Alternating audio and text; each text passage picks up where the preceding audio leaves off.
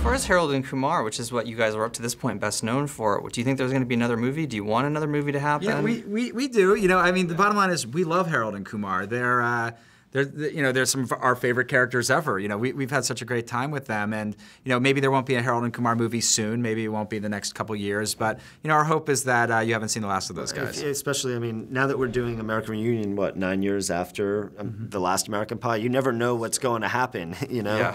so as long as John Cho and Kal Penn, you know, stay alive and don't don't get you know some sort of weird facial That could, I, scar. well, if there's a facial situation, we could work with that. yeah, you could always take a scar off or third degree burns off, Mm-hmm. just like totally re- digitally redo You might the not face. be able to do the 3D that time. But No, no, no. I think we don't wanna do away Or we'll just put it into the story. We like- should be. I could see a mask type. Uh, There you go. Harold and Kumar Yes. There you go. Yes. Little eyes wide shut thing. Yes.